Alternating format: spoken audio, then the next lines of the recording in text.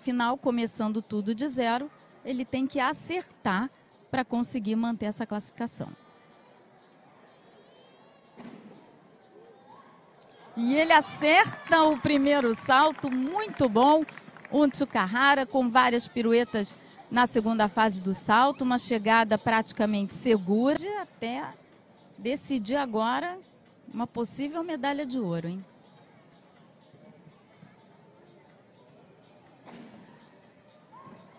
Não, isso não podia acontecer. É uma pena realmente a queda aí no segundo salto do Ângelo. Ele foi com tudo, mas realmente não conseguiu ali altura e rotação suficiente, acabou sofrendo a queda. Vamos ver de novo.